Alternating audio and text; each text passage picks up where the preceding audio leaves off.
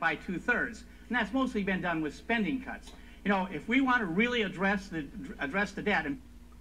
خب گفتم فقط یه زنگ تفریح بگیریم این دوشنبه دو روز پیش ببخشید سه روز پیش این دیبیت بود برای که انتخابات یکی برای یکی از سناتورای ایالت سافت داکورا کنید سافت داکورا رو نگاه کنید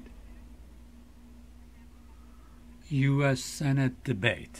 خب ایشون هم که مادریتره داره از هر دو طرف سوال می‌کنه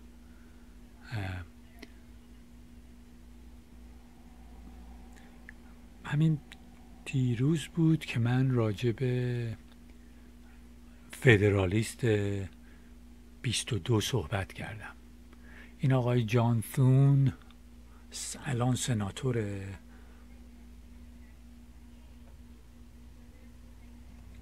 خب اینم داکوتای جنوبی.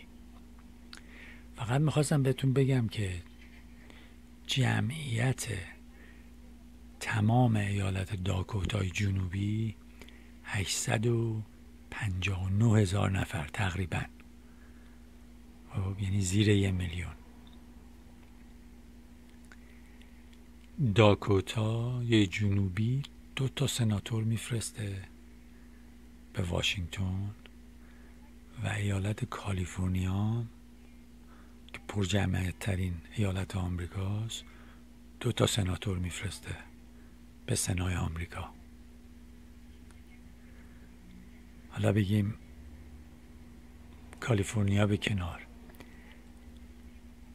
این منطقه که من زندگی می‌کنم تو اوکلاما همین اوکلاما سیتی خود شهر اوکلاما سیتی البته من تو نورمنم. جمعیت اوکلاما سیتی بیشتر از باهومش بیشتر از تمام جمعیت ایالت داکوتاست و تمام ایالت اوکلاما دو تا سناتور میفرسته سنا. این یکی از چیزهاییه که یک روزی که ما خواستیم